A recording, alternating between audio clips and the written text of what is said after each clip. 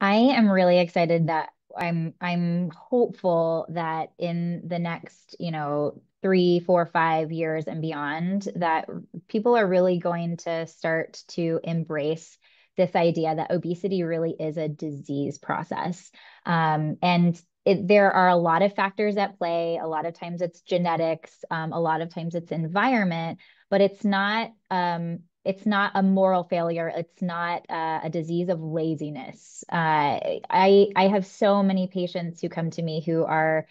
absolutely frustrated and really kind of at um, at their wits end because they they're doing all of the right things you know we've they've heard it from multiple providers you just have to eat mm. less and exercise more um, and that is just not eh, that's not going to cut it and i really hope that in the next however many years we're going to see that pivot from ever really even saying that to patients because yes while those things are can be an important component of treatment um, it, it has more to do with how our bodies are changing